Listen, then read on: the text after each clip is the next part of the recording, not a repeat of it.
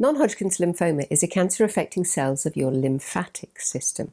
It's divided into high grade and low grade. It's most common in people over the age of 60 and it tends to affect men more often than women. It's about the seventh most common cancer in the UK. We don't know why it happens. There are no obvious risk factors. For instance, it doesn't run in families. It seems to arise from a single white blood cell, a lymphocyte. Now, what then happens is that those cells multiply abnormally and they'll congregate in your lymph glands.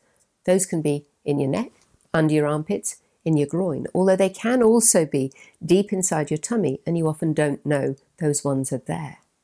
Other symptoms would include feeling tired, getting sweats, particularly at night, having fevers, again, particularly at night, being off your food, losing weight for no obvious reason, and feeling generally very itchy. The diagnosis is often made by a biopsy with blood tests, although you may also need scans, such as a CT scan or an MRI scan, to see how far the lymphoma has spread. And the spread is divided into four main stages. Stage one is a single group of lymph node.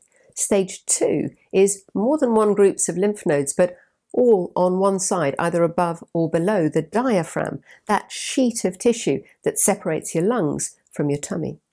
Stage three is groups of lymph nodes on both sides of the diaphragm, above and below. And stage four is a cancer which has spread outside the lymphatic system.